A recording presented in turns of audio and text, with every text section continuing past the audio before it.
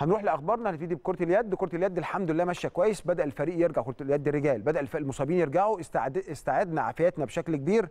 آه، الأسبوع اللي فات آه، فزنا آه، في مباراتين فزنا على سبورتنج وسموحة الأسبوع اللي فات. عندنا بكرة بقى الجولة الجديدة مع مين؟ مع هليوبوليس بمدينة الشروق. ماتش مهم ماتش صعب. وهنلاعب بعد كده إن شاء الله بعد بكرة عندنا الشمس.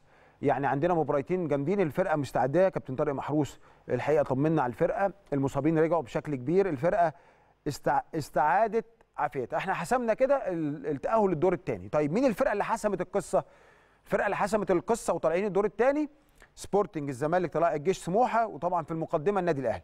في صراع على المركز السادس. مين بقى؟ مين مين ومين؟ هليوبوليس والبنك الأهلي. وعشان كده أنا بقول لكم ماتش هليوبوليس بكرة ماتش صعب.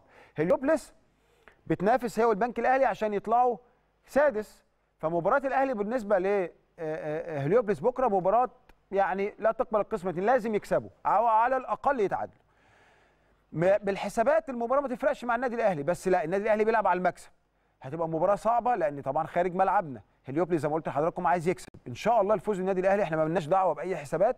النادي الأهلي بيروح يكسب زي ما اتعودنا. النادي الأهلي بيلعب على المكسب سواء ليه فايدة أو ليه يعني ملوش فايدة في المباراة لينا أهمية ملناش أهمية المباراه النادي الأهلي بيلعب دا أو ملناش أي أمل في أي حاجة النادي الأهلي بيلعب على المكسب.